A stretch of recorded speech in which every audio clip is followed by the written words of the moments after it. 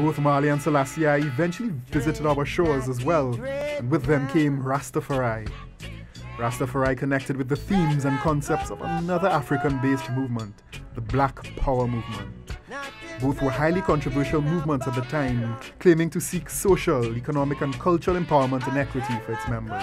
And along with the movement came the emergence of marijuana as a cultural, medical, and spiritual substance. But that brought a conflict of interest, one which still exists today. The Rastafarian holy sacrament, marijuana, is of course still illegal. So every time Rastas practice their faith, they as a consequence risk it all by committing a crime. In an effort to understand this often misunderstood faith and its relationship with marijuana, I attended the celebration of the 86th anniversary of Selassie's coronation at the Siparia Nyabinghi House. Welcoming me like one of them, those in attendance offered nothing but love and generosity. I would later learn that I shouldn't have been surprised, for that is Rastafari. We give thanks for this 86th coronation by having all the children come and feel the energy and feel the presence. For His Majesty was a great leader. His Majesty was the one that brought modernization into Ethiopia. and as Rastafari, as Rastafari, it is important that our children follow the ancient tradition. For Rastafari are the progenitors, you know, of Africanness. Af Rastafari, Rastafari is based upon culture, cultural heritage.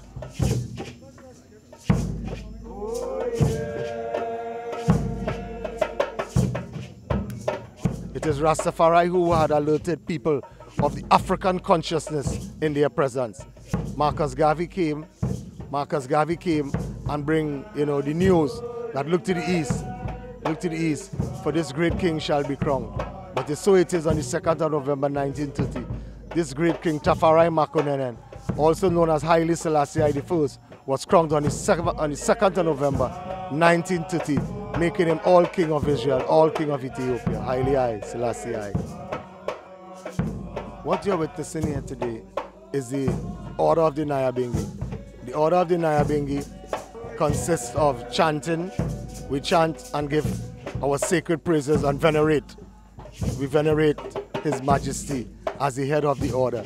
As you can see, the tabernacle is situated with 12 different posts, each post representing one of the 12 disciples.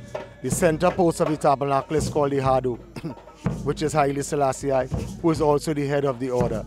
As you can notice, the, the order is consists of a family, a family, because His Majesty had been crowned, both with himself and his wife. There's also a fire on the outer court, purifying all impulses as they come into the tabernacle. For the tabernacle must at all times be lit must be at all times be lit with fire in order to preserve the sacredness.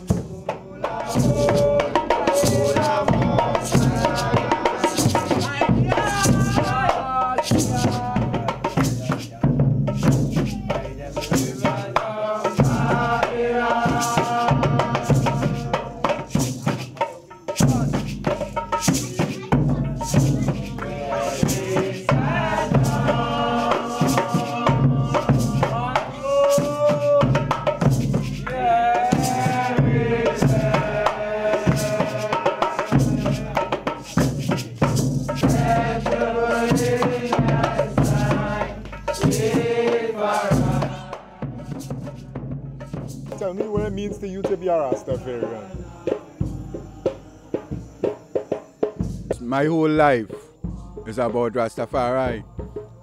When, like, I can remember one time they was asking Bob about um, when you become a, a Rasta, and he was mentioning the word that you cannot actually become a Rasta.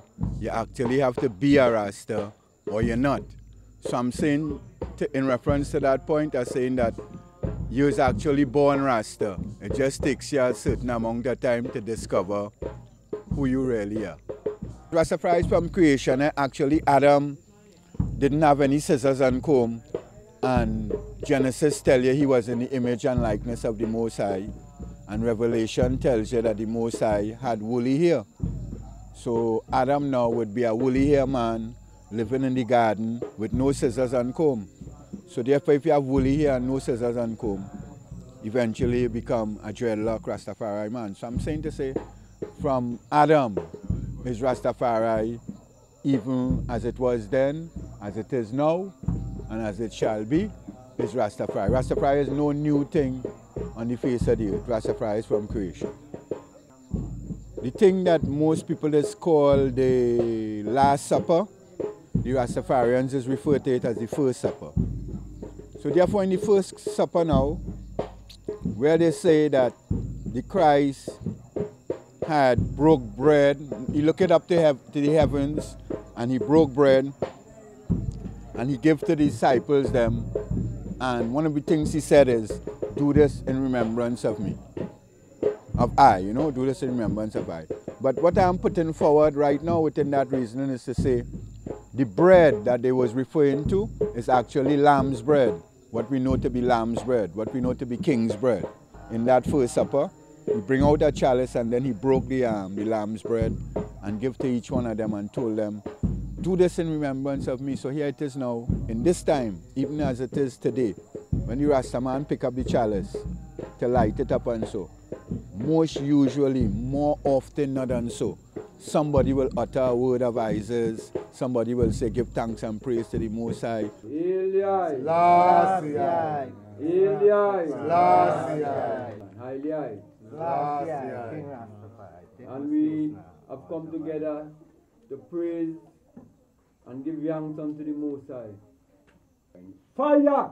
Coals of fire. And I will lift up my eyes unto the hills, from whence cometh forth thine help. And I am coming from the Most High, Eliai, Selassie. I and I that clean hands and pure heart, not lifted up thy life unto vanity, nor sworn deceitfully. And I shall receive the blessings of the Most High, and I shall become like a tree planted by the water, that bringeth forth thy fruits in and out of season.